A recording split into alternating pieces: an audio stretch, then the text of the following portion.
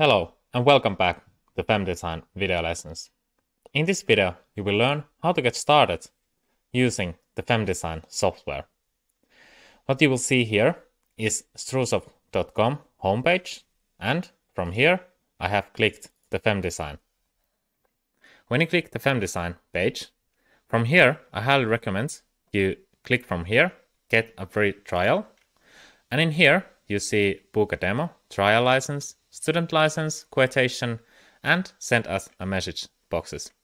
Here, I highly recommend you select the book a demo.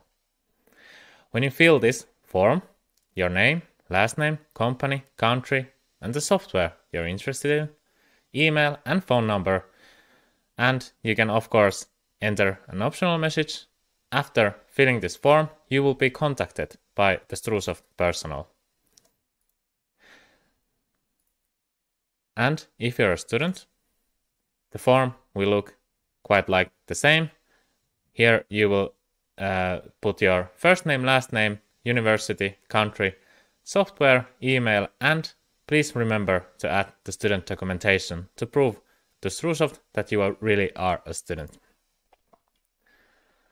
So there was a way of getting started when you're totally new to software and want to get your hands on it. If you're a previous user who hasn't used FemDesign for a long time or want to update your FemDesign, I highly recommend that you will go to here, FemDesign, and here you will select the support.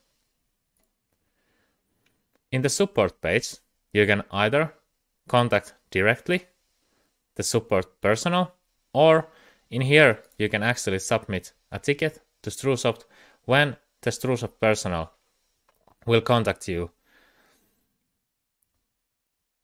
In this way, you will uh, get your uh, FemDesign up to date and maybe get some guidance how to get uh, how to start using the FemDesign in your work.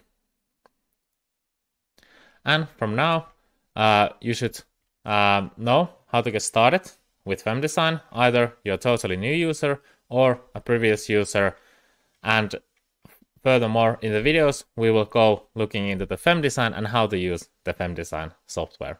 Thank you for watching and see you in the next one.